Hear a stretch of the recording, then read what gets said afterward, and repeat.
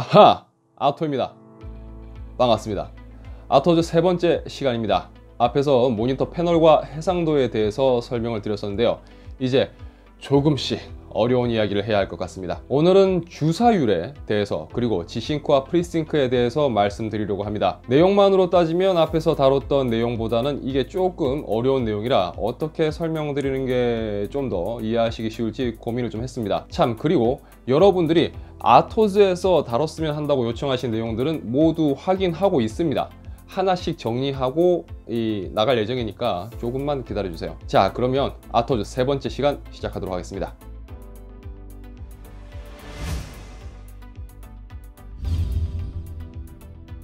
우선 주사율. 이 주사율이 뭘까요? 주사율과 같은 뜻의 말이 하나 더 있습니다. 바로 FPS라고 하는 이 프레임입니다. 같은 듯 하면서 또 다른 이 말의 차이는 이 프레임이 모니터의 스펙으로 넘어가게 되면 이 주사율이라는 말로 바뀝니다. 그러니까 그래픽 카드의 성능 척도 중에 하나로 이야기되는 이 프레임과 비슷한 개념인데 모니터에서 1초에 최대로 보여줄 수 있는 프레임 이게 스펙에서는 주사율이라는 말로 표시된다는 거죠. 만약에 모니터 스펙상에 60Hz라고 표시된 모니터는 최대 60프레임까지 모니터에서 표시해 줄 수 있다는 이야기입니다. gaming용 모니터라고 분류되는 이 고주사율 모니터의 경우에는 뭐 100Hz, 120Hz, 144Hz, 뭐 165Hz, 뭐 심한 경우는 240Hz까지 종류가 정말 다양한데요. 방금 설명드렸던 것처럼 뭐 초당 100프레임, 120프레임, 140프레임, 165프레임, 240프레임까지 화면상에 표시해 줄 수 있다는 뜻입니다. 그러면 여기서 하나 궁금증이 생기실 건데요. 어, 제 PC는요, 성능이 너무 좋아서 게임을 할 때 프레임 뜨는 거 보면 100프레임 넘게 나오거든요. 그런데 제 모니터는 60Hz 주사율을 가지고 있는 모니터인데, 그러면 이거 어떻게 되는 거예요? 뭐, 이런 궁금증이 생길 수 있잖아요. 그렇죠. 아닌가요? 어쨌든, 만약 위 질문과 같은 상황이라면 안타깝지만 아무리 PC 성능이 좋아서 100프레임 넘게 성능이 나온다고 해도 모니터가 가진 주사율이 60Hz라면 사용자가 눈으로 볼 수 있는 건 60Hz 곧 60프레임밖에 볼 수 없습니다. 그러면 100Hz 이상을 지원하는 고주사율 모니터가 필요할까요? 일반적인 대답으로 말씀드리자면 꼭 필요하지는 않습니다. 왜냐하면 우리가 일상적으로 사용하는 PC 작업에서 60Hz 이상 혹은 뭐 75Hz 이상의 프레임을 모니터로 뿌려줘야 할 일이 많지 않기 때문이죠. 결론은 쓰는 데는 전혀 지장이 없다는 겁니다. 그렇지만 이제 제 개인적인 의견을 말씀드리자면 만약 게임을 좋아하시고 게임을 좋아하시는 만큼 좀 더 좋은 환경에서 게임을 즐기기 위해 시스템에 투자를 많이 하시는 분들이라면 고주사율 모니터는 있으면 좋습니다. 예전에는 게임에서 60프레임이면 충분하지 라는 의견이 대부분이었지만 최근 들어서는 다양한 게임 장르에서 프레임이 높으면 높을수록 좀 더 좋은 환경을 제공해주는 상황이기 때문에 시스템의 투자라는 개념에서는 물론 돈이 좀 드는 게 단점이긴 하지만 고주사율 모니터를 사용함으로써 100프레임 이상의 쾌적한 환경은 한번 보게 되면 끊기 힘든 매력이 있는 것도 사실이니까요. 하지만 무조건 고주사율 모니터가 좋은 것은 아닙니다. 아무리 165Hz 240Hz 모니터를 가지고 있다고 하더라도 PC에서 뽑아주는 그래픽 프레임이 60프레임이라면 모니터는 그냥 60Hz 모니터와 다를 바가 없습니다. 결국은 모니터와 지금 사용 중인 PC의 성능 간 밸런스가 그만큼 중요하다고 봐야겠죠. 그러면 프레임이 왜 이렇게 중요하게 작용하는 걸까요? 우선 프레임이 뭔지부터 이야기해야 할 것 같습니다. 우리가 영화를 보든 드라마를 보든 혹은 게임을 하든 우리 눈앞에서 움직이는 영상들은 모두 프레임의 적용을 받습니다. 가장 쉽게 이해하실 수 있는 게 애니메이션을 떠올려 보시면 되는데요. 드래곤볼을 한번 예로 들어볼게요. 드래곤볼에서 손오공이 에네르기파를 쓰는 장면을 떠올려 봅시다. 화면에서는 자연스럽게 에네르기파를 외치면서 움직이는 모습을 볼 수 있지만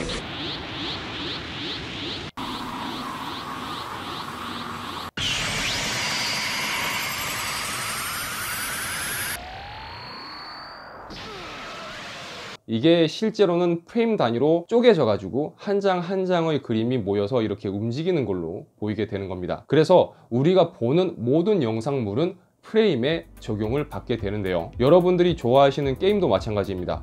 화면상에서 총을 쏘고 달리고 움직이는 모든 화면상의 내용들이 하나의 정지 화면이 모여서 움직이는 영상으로 처리되는 거죠. 보통 FPS로 표시되는데 뭐 이거는 frame per seconds, 즉 1초에 몇 프레임을 보여주느냐를 나타내는 단위입니다. 만약 1초에 30장의 화면이 모여서 만들어진 영상과 1초에 60장 또는 1초에 100장의 화면이 모여서 만들어진 영상이 있다면 어떤 게 조금 더 부드럽고 섬세한 화면을 보여줄 수 있을까요? 당연히 같은 1초라고 하더라도 훨씬 많은 화면이 모여서 만들어진 영상이 더 부드럽고 디테일한 화면을 보여줄 수 있을 겁니다. 그래서 빠른 움직임이 필요한 게임, 뭐 예를 들자면 FPS 게임 혹은 레이싱 게임 등에 있어서 안정적이고 높은 프레임이 훨씬 사용자에게 좋은 화면을 보여주고 이 정교한 컨트롤을 가능하게 만들어주는 거죠. 최근 PC 성능 그 중에서 gaming 관련한 부분에 있어서는 결국 이 프레임을 얼마나 안정적으로 그리고 많이 뽑아주느냐가 가장 중요한 요소라고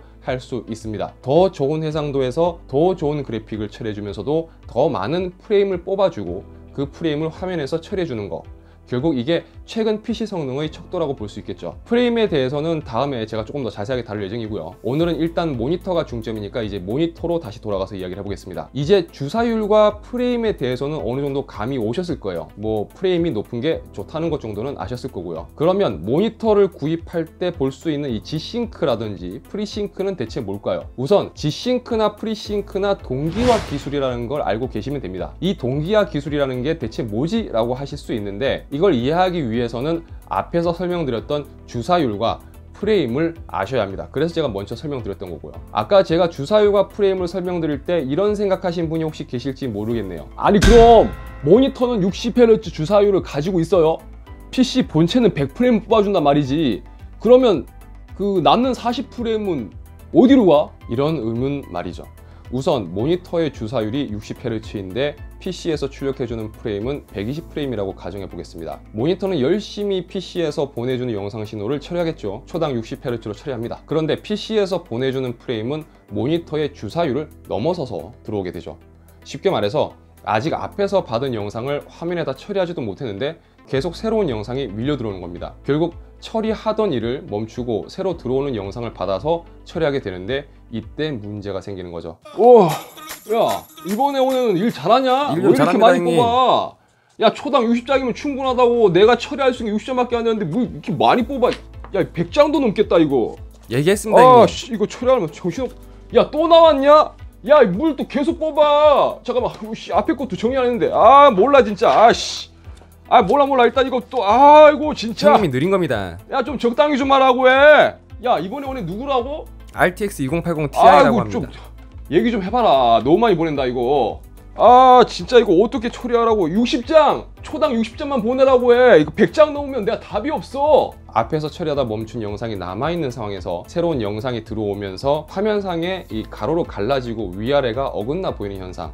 즉 tearing이 발생합니다. 이 문제를 해결하기 위해서 우리가 게임 옵션 창에서 볼 수 있는 것 중에 Vsync 즉 수직 동기화가 생겼습니다. 그런데 수직 동기화는 이 tearing을 제거하는 데는 성공하지만 또 다른 문제를 만듭니다. 수직 동기화는 말 그대로 모니터의 주사율과 PC에서 출력되는 프레임을 강제로 동기화시키는 역할을 합니다. 그러면 앞서 설명드렸던 tearing 현상은 방지할 수가 있죠. 모니터의 작업이 끝나면 그에 맞춰서 PC가 모니터가 처리할 수 있을 만큼의 프레임을 보내주면 되니까요. 강제적으로 그래픽 카드의 성능을 뭐 봉인하는 측면이 있어서 제대로 성능을 쓰지 못한다는 단점이 있지만 뭐 어차피 모니터가 처리 못하면 그게 그겁니다. 어쨌든 Vsync의 경우 일단 60Hz, 즉 60프레임으로 고정을 시키는데 만약 그래픽 카드가 60프레임을 유지하지 못하고 프레임이 60 미만으로 떨어지게 되면 형님 받으십시오 형님. 뭐, 뭐야 왔냐? 네. 야 저번에 걔 어디 갔냐? RTX 온에서 갔답니다. 아 그래 바뀌었지? 예. 아유 씨, 좀 느려? 이번에가 조금 느립니다. 야, 몇 장이야 이거? 아유 스무 장도 안 되겠네. 지난번보다는 야, 수월하실 이번에 겁니다. 오늘은 좀 일이 많이 느리다. 좀 빨리 빨리 좀 보내라고 해라. 알겠습니다. 야, 열 장? 야, 이거 이거 안돼 임마. 이거 지금 스무 장 갖고 지금 겨우 맞췄는데 또 열 장 주면 야 이거 지금 뚝뚝 빠지잖아. 야 화면 끊기면 이거 어떡하려고? 아이고 나 모르겠다. 또 화면 뚝뚝 끊기겠네. 아이, 좀 얘기 좀 해가지고 좀 맞춰달라고 해라. 나는. 일단 무조건 초당 60장씩은 와야 돼. 근데 뭐 20장 왔다, 10장 왔다 이러면은 이거 남는 거 빈 공간 어떻게 메꾸니?